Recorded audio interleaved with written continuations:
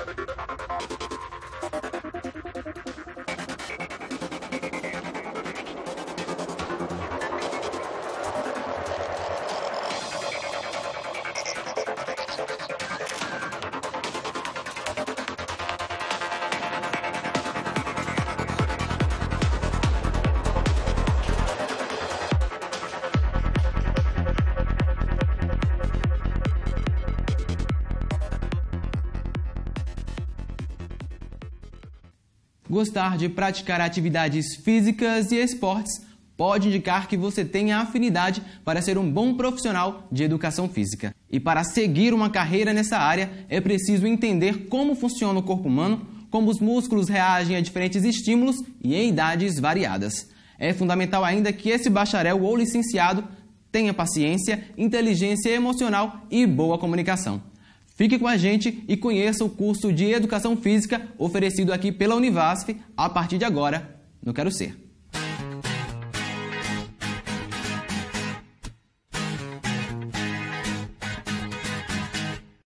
O curso começou no segundo semestre de 2009, ainda sob o nome de Ciências da Atividade Física.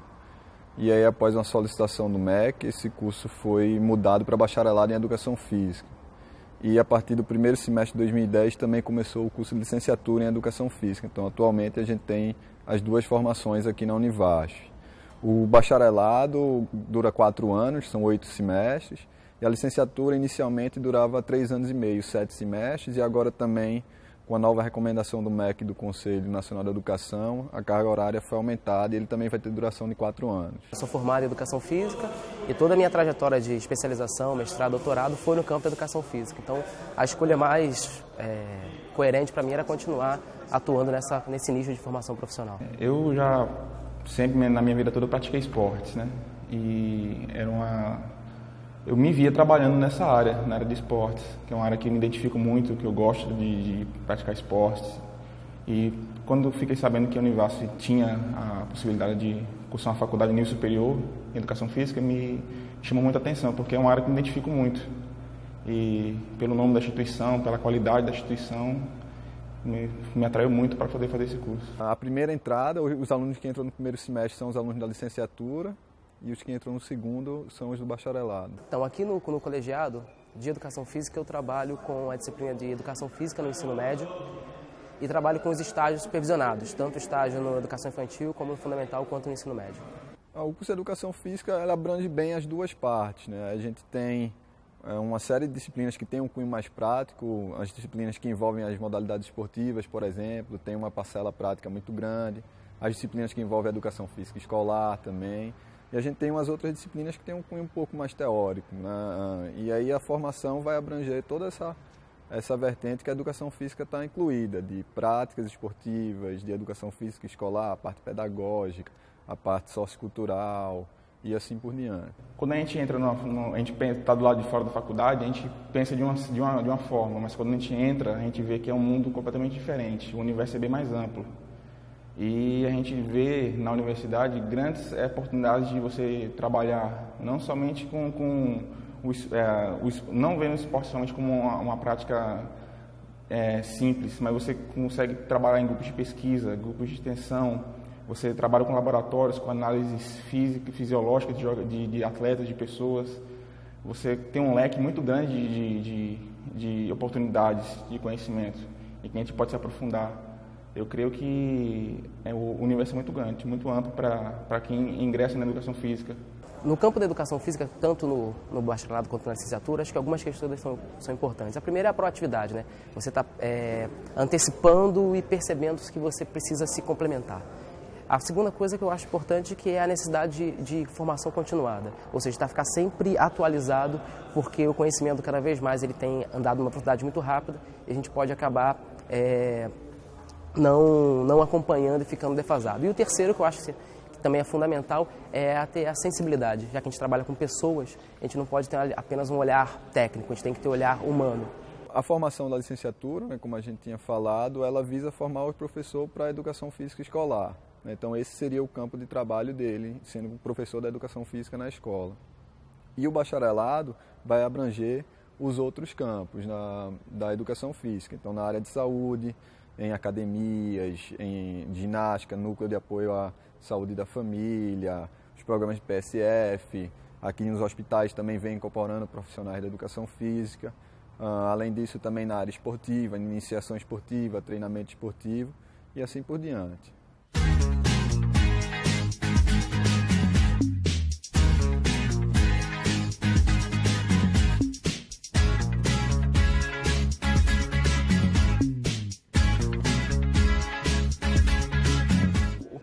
Tento sempre fazer em aula é trazer com que o conteúdo que a gente está trabalhando ele esteja contextualizado, que ele tenha uma, um significado para o aluno que está ali na, naquele momento é, se preparando para ser professor. Então a gente tenta envolver ele para que ele perceba o, o, o significado profundo é, relacionado com a prática que ele vai ter assim que ele for egresso e, e entrar no mercado profissional. Não, atualmente nós temos um prédio próprio né, do Colegiado de Educação Física, onde a gente tem sala de dança, tem laboratório de musculação, tem laboratório de bioquímica, de biomecânica, de fisiologia do exercício, laboratório também ah, da parte de ciência e movimento. Ah, temos a piscina, que é uma piscina semiolímpica, que a gente utiliza não só na, na disciplina de natação, mas também em projetos de extensão. E mais recentemente aqui o nosso complexo esportivo, né, com as quadras e também temos quatro salas onde vão funcionar laboratórios, salas de aula uh, e também a sala de lutas. A relação com o aluno não fica é, limitada apenas à sala de aula. Então a gente tem um envolvimento maior. Então a gente tem projetos de extensão a gente tem que os alunos, muitas vezes, eles se colocam na função de professor, sendo supervisionado por nós. Temos grupos de pesquisa, onde a gente tem uma relação próxima, desenvolvendo trabalhos acadêmicos, tem a sala de aula. O relacionamento, ele, ele, ele tem sido um relacionamento bem intenso bem interessante, na medida em que a gente, é, o curso de Educação Física, é um curso que tematiza, no campo profissional, muitos conteúdos que estão presentes na sociedade no, na, no, no aspecto do lazer. Então, isso faz com que a relação professor-aluno ela fique mais próxima. Eu estou iniciando agora é, na volta das férias para ingressar no projeto de pesquisa, de extensão, e pretendo passar boa parte do meu dia na universidade, porque a, o conhecimento é muito grande aqui dentro, fora da sala de aula. Né? A universidade um, é, tem atividade durante todo o dia, ela funciona o dia todo, e eu creio que vai, vai ser de muito é, enriquecimento, muito enriquecimento para o meu conhecimento. Né? Na nossa grade, tanto a licenciatura quanto o bacharelado são divididos em três disciplinas de estágio. Na licenciatura, como a, formação visa a educação física escolar, os três estágios são divididos em educação física na, na educação infantil, no ensino fundamental e no ensino médio. E no bacharelado, como são as outras áreas de educação física, a gente pede que os alunos eh, participem de áreas diferentes do campo do bacharelado. Então, na área da saúde, por exemplo, uh, na área da iniciação esportiva, na área do treinamento desportivo. O curso de educação física ele é, ele é bem interessante porque é o que a gente percebe que, na maior parte, os alunos entram com uma visão um pouco deturpada da ideia da educação física. Acham que a educação física se limita a uma área que vai que ele vai jogar bola, que ele vai que é muito de um preconceito que está também na sociedade. O que a gente tem visto é que quando o aluno ele começa a perceber que o curso de educação física ele tem em si um aspecto profundo acadêmico, quer seja no seu aspecto do ensino relacionado com as ciências humanas, na licenciatura, no ensino da, tanto do, do esporte quanto da, da, do movimento. Tem o seu olhar social também de entender o, o, o esporte, a atividade física como um fenômeno social que tem impacto na vida das pessoas e também com o seu aspecto da saúde. Então, o que a gente percebe é que o que apaixona os alunos é perceber que a educação física é muito além do que ele, que ele acha que no início, quando ele está entrando no curso.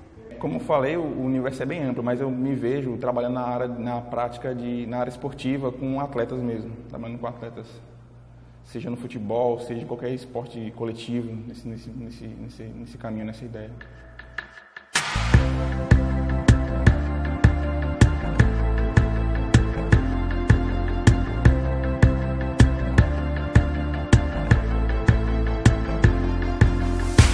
Nossa conversa sobre o curso de Educação Física continua aqui no estúdio com o coordenador do colegiado do curso de Educação Física da Univasf, José Fernando Villanova de Moraes, o egresso do curso de Educação Física, Everaldo de Araújo, e o formando no curso de Educação Física, Erivano Rocha. É, professor, quando a gente pensa em um profissional de Educação Física, a gente lembra de cara do personal trainer.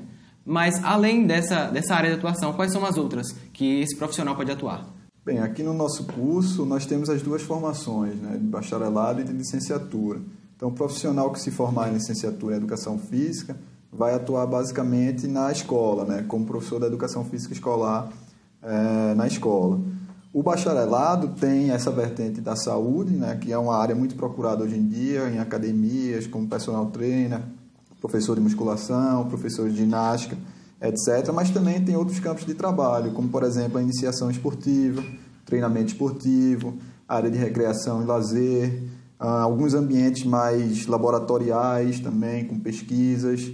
E também, mais recentemente, o profissional de educação física tem conseguido se inserir ah, no ambiente hospitalar, eh, nos núcleos de apoio de saúde da família, no programa Saúde da Família. Então, existe uma gama bem variada de possibilidades de atuação do profissional de educação física. É, Everaldo, em que área você atua e conta como um pouco da sua rotina profissional? Então, hoje eu atuo na área de academia, né, como professor de musculação e dando aula também de personal trainer em academias. É, eu sou formado na área de bacharelado da educação física, formado pela Univasf e hoje também curso mestrado nessa área de associada ao treinamento e respostas biológicas aqui também na Univasf. Então é, foi uma área que é boa de se trabalhar, é bem tranquilo.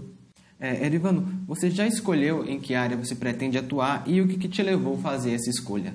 Bem, desde sempre eu tive, é, é, tive identificação com a área do, da docência, sempre que sempre admirei o fato do, do professor poder transmitir a, a, a aquele conhecimento que ele adquiriu durante sua formação para os alunos. Desde que ingressei no curso, eu tive, eu tive convicção que era, era essa área que eu queria atuar. É, eu tenho, tenho hoje, praticamente no último semestre de formação, de, como, como citei desde o princípio, eu, eu quis trabalhar como professor e à medida que eu fui cursando os semestres, é, essa certeza só se uhum. É, professor, a gente vai falar agora sobre um assunto que interessa, né? Todo mundo está nessa área e todas as outras suas áreas de formação, sobre o mercado de trabalho. É um assunto que todo mundo gosta.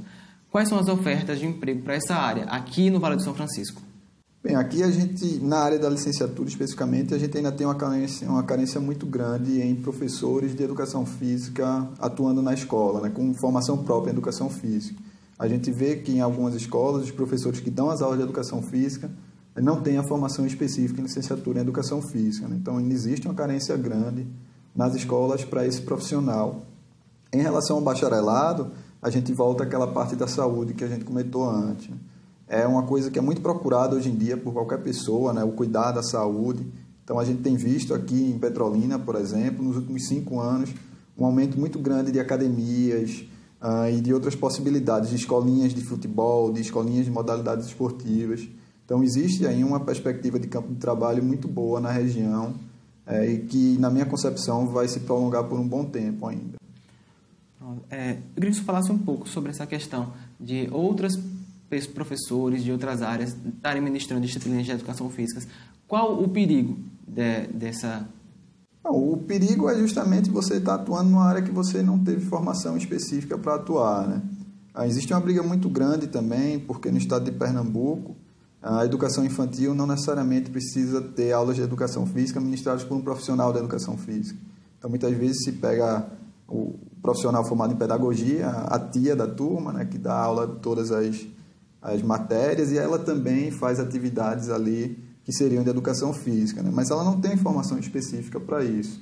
Então, é importante que isso seja levado em consideração, porque o aluno que se forma em licenciatura de Educação Física passa ali aqueles anos estudando especificamente que conteúdos trabalhar na educação física, tanto na educação infantil, como no ensino fundamental e ensino médio. Eu acredito que o perigo maior também esteja nas academias que não tem esse, esse profissional especializado. Acho que o, o Everaldo pode falar um pouco sobre isso. É, é. Talvez a realidade hoje já esteja um pouco diferente, mas alguns anos atrás, cerca de dois anos atrás mais ou menos, quando eu comecei a fazer meus estágios, em academias, a gente via que a grande maioria das academias aqui na cidade não tinham profissionais formados na área. Geralmente eram treinadores antigos que, por trabalhar muito tempo, por fazer musculação muito tempo, eh, se inseriam na, nas academias para dar aula. Mas é uma coisa que dos últimos dois, três anos vem mudando, justamente pelos agressos daqui da, do curso de Educação Física da Univas estarem saindo e estarem já se encaixando rapidamente nesse mercado de trabalho. E como você é, me falou, já se encaixou nesse mercado de trabalho, foi difícil conseguir a primeira oportunidade? Não, justamente por essa carência dos profissionais na área aqui. Eu comecei a estagiar aqui a partir do quarto, quinto período e justamente a convite de donos de academia para a gente já poder fazer esse estágio e a partir dessa primeira experiência a gente já consegue se inserir rapidamente no mercado de trabalho justamente pela carência de bons profissionais na área. Erivano, você acha que se preparou bem é, durante essa, a sua graduação, que você está preparado para encarar o mercado de trabalho? E além das aulas na universidade, em que, que for, quais outras, as outras formas que você utilizou para ir se preparando, adquirir mais conhecimento? Bem, é, o curso de Educação Física da Univas é um curso que tem, se não me engano, na última avaliação que teve, obteve nota 4. E aí é um curso que oferece muitas, é, é, muitas possibilidades, tanto no campo de atuação quanto no campo do aprendizado.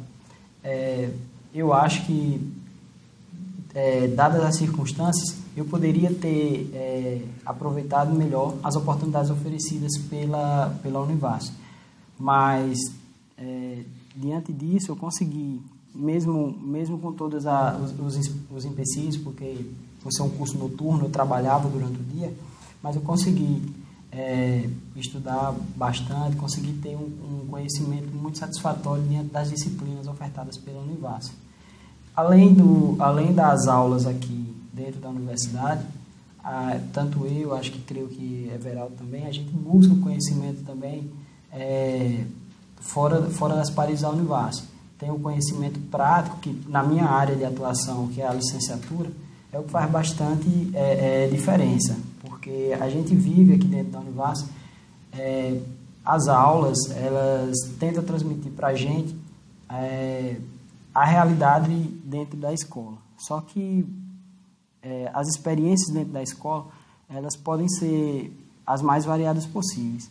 E aí consegui, é, a partir do quinto semestre, é, fazer parte do programa de iniciação de, de bolsas à docência, que é o PIBID, é um, um, importante programa, creio que hoje um programa nacional que tem é, é, maior importância assim na formação de docentes. Então, desde, desde então eu vivo a realidade escolar, apesar de não trabalhar assim propriamente na área, mas já atuo dentro da escola através desse programa, o que possibilitou adquirir um conhecimento mais consistente ainda. Everaldo, você chegou a participar de algum projeto de pesquisa ou de extensão durante a sua graduação e hoje profissional formado, já atuando. Qual foi a importância disso? Sim, eu participei aqui de um projeto de extensão, que é o projeto Academia Universitária, que hoje funciona lá no Colegiado de Educação Física, que atende alunos, técnicos e professores daqui da, da universidade.